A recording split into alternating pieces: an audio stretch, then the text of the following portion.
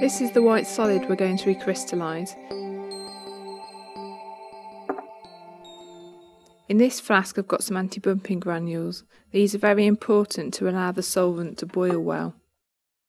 One of the key things in a recrystallisation is ensuring that the minimum amount of hot solvent is used. So we're going to add the hot solvent dropwise to the solid. The ideal solvent for recrystallization is one which the solid is sparingly soluble in when cold but readily soluble in when hot.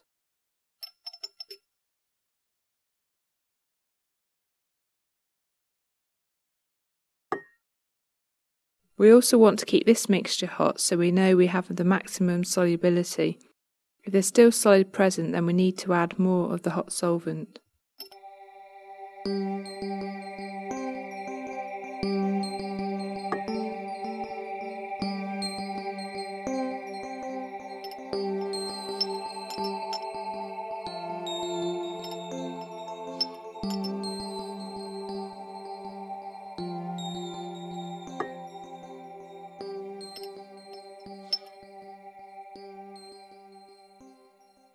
You can see most of the solid is now in solution.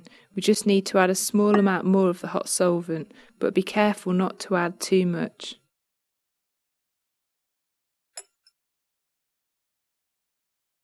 The last bit of solid has just gone into solution so we can take this off the hot plate and do a hot filtration.